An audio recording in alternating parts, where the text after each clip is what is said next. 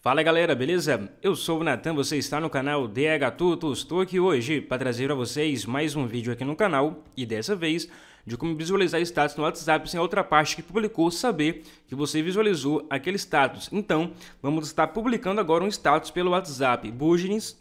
Vou vir até a parte de status, vou publicar um status aqui normalmente. Vou selecionar uma foto da minha galeria, que está com a tela preta. Irei clicar agora sobre enviar para publicar esse status status sendo enviado e já foi publicado. Agora, vamos estar voltando até o outro, o WhatsApp. Vim até a parte de status e já aparece aqui, DH Tuts acabou de publicar um novo status agora mesmo. Para você visualizar qualquer status sem a pessoa saber, você vai vir até a parte de conversas novamente, vai clicar agora nos três pontos na sua parte superior, vai vir até configurações, depois conta, privacidade, e vai desativar a configuração de leitura. Agora você pode voltar e visualizar o status que foi publicado pelo seu contato que você quer visualizar, sem que ele saiba que você viu o status dele. Como você pode ver, acabei de ver esse status do DH Tutos. Vamos agora voltar lá para o outro, o WhatsApp. E até agora, zero pessoas visualizou esse status.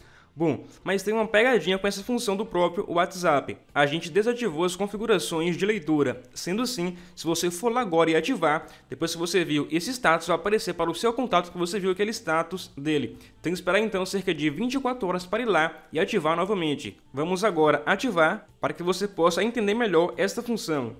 Vamos voltar até nossas configurações, depois conta, privacidade e ativar as configurações de leitura. Vamos agora voltar para o outro WhatsApp.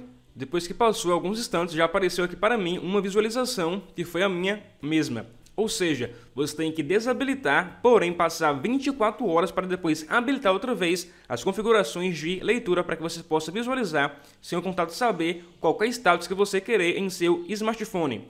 Bom pessoal, então a dica de hoje foi essa, eu espero que tenha gostado de mais um vídeo aqui no canal e que esse vídeo tenha ajudado vocês. E se você for novo no canal e chegou no canal por esse vídeo e ainda não é inscrito no canal, inscreva-se no canal aí para continuar acompanhando mais dicas como essa. Muito obrigado, forte abraço e até o próximo vídeo.